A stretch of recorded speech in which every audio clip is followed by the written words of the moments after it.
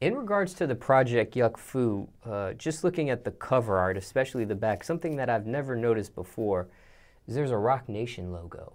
Yeah. Can you explain that? I'm now a Roc Nation artist. Shout out to Roc Nation. They put this project out. Um, yeah, it, we actually signed a deal with them. Uh, we were going the working. The, we were going back and forth with the situation for a while. So Yuck Fou was actually done, but I knew I wanted to put a project out with them. So me and Kato kind of we were going to put it out ourselves. So we held back, and once we once this once the you know the deal was done, that was the this the first project put out by Roc Nation. Mm. And I don't recall seeing a press release that you had uh, become part of Roc Nation. So this, to me, is almost like the press release, I guess, or the yeah. It's, it's, you know, I didn't want to. I didn't really want to do that, man. Um, I didn't want to do that. Like, hey, look at me, I'm Roc Nation, I'm this, I'm, you know what I'm saying? Because you never really know how. Just with the funk volume situation, I'm always like, kind of like paranoid with situations and how they may, how how it how it may you know unravel or it or you know. So I don't want to be so gun ho with with it at first. So I was just like, chill. We gonna put it back. We gonna ride out. People know it's on Roc Nation, but I'm not gonna fucking be like, rock. It's the fucking Roc Nation, rock. You know what I'm saying? And but everybody over there is so fucking cool, man, and, and they've been showing me so much love.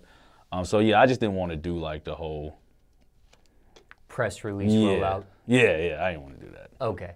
Uh, well, how did this all happen? How did you become a part of it? Shout out to um, uh, Orlando, man. He made that happen.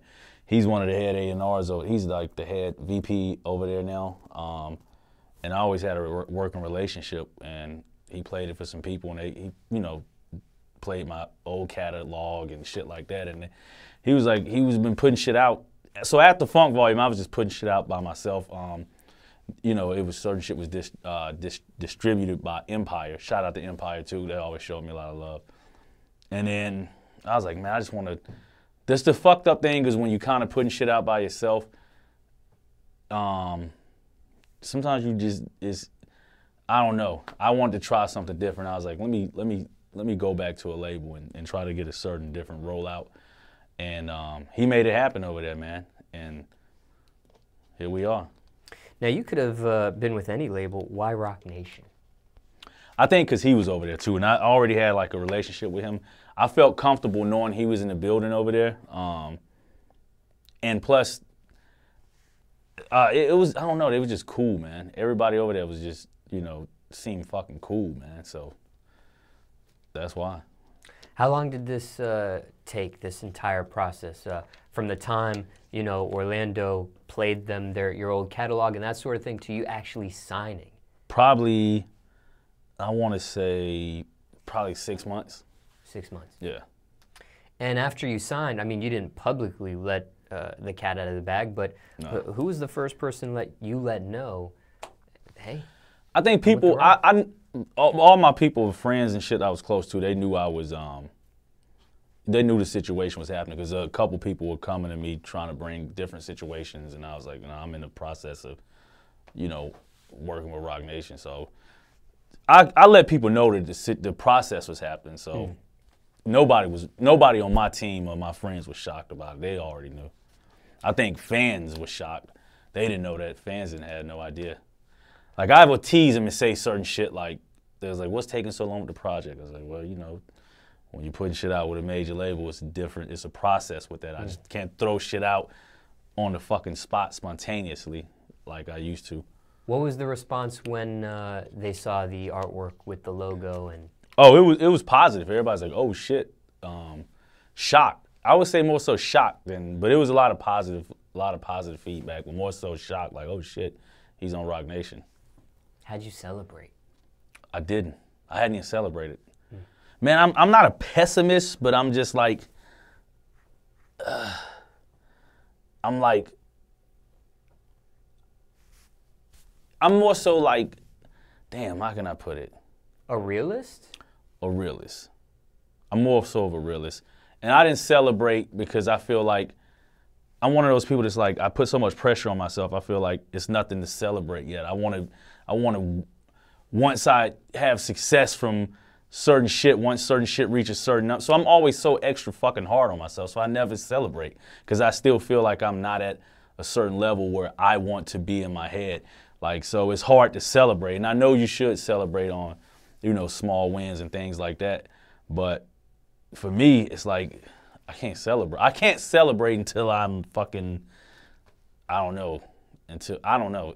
You know how we all just have our own personal levels of where we want to be. So, for me, I'm not at that level to where I want to be. Does a Roc Nation deal come with a Jay Z verse?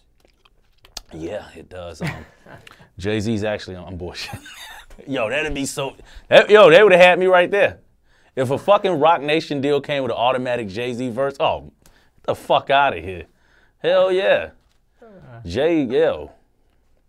Maybe in the future, man. Ho- hopefully, somebody on the team, Jay Z, if you see this, man, you want to throw me a fucking verse, you know, why not, man? Like they say, let's do it for the culture. Haven't had a chance to meet him yet. I hope I fucking get to meet him, man. I love to fucking meet Jay. Jay's one of like another dude I consider like one of my top five favorite fucking rappers. He's up there.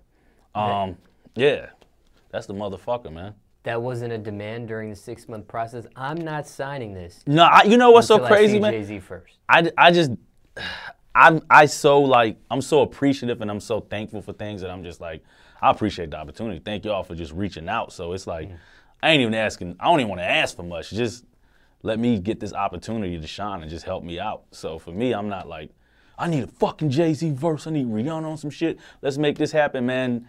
I'm gonna take the the most of what the fuck you give me and make some of that. I'm just I'm appreciative that like they came to me at a time where it's like I was kind of like you know, feeling like, damn, what do I, am going to do with my shit? What's the next step? And they presented the opportunity. That just like, for me, I look, I'm very, I'm a, I'm a dude, man. Like this, I count my blessings, bro. So, I'm, I'm very appreciative and I feel blessed with the opportunity. Did you even inquire? Hey, is Jay Z going to be at the signing? Nah, I didn't. I didn't. You know what's so crazy? And that's another. I didn't want to do shit like that either because I'm like, yo, well, man, I don't want to fuck this up.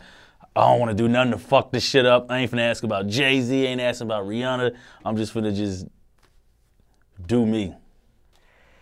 Now, uh, you've already, uh, on the uh, Yuck Fou album, Mm-hmm. I see that not only was there the Roc Nation logo, but you also collaborated with a Roc Nation artist, Yeah, Jay Park. Jay fucking Park. Uh, was that done after you did this deal, or was that already done prior to? That was done after because we put Moneybag out um, a while ago. We put Moneybag out last year, and um, it just I felt like I love that fucking song, man. I was like, man, this shit just, you know, I was we was doing it independent. And I was like, yo, I don't even have like the push behind it to put the song out the way it should be. And then the song was out for a while. It didn't get the the look that I wanted it to. And everyone that heard it loved the song so fucking much. They was like, this shit should, the song is dope. Um, and then Cardi B comes with Money Bag. Shout out to Cardi B. She got a Money Bag song too. And I was like, damn, I can, now when I put my money, so I don't know, I was like, I want to revamp Moneybag because I want to put on a project. And what other fucking better way to put it out than had Jay Park on it? Um, it worked two ways because the producer, it was a, it's a project that me and Kato did. He's Korean, and I was telling him with this project, like, bro, bro, you need to embrace like your ethnicity on this shit, man. And and so the best feature, Jay Park popping, this shit is dope. I'm like, yo, let's do it, bro. Now, uh, how did that come about? Was that something you go to your Roc Nation people and say, hey, I want Jay Park a part of this? That's an idea that Bri um, came up with. Uh, uh, the mark she does marketing at Roc Nation. Damn, I, um, and I was like, yo, that's a great fucking idea.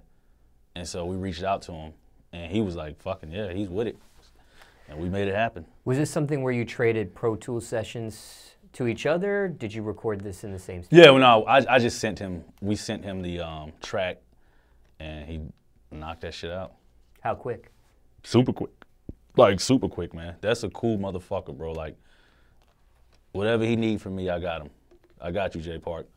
Even though I could use some of your fucking fans, motherfucker.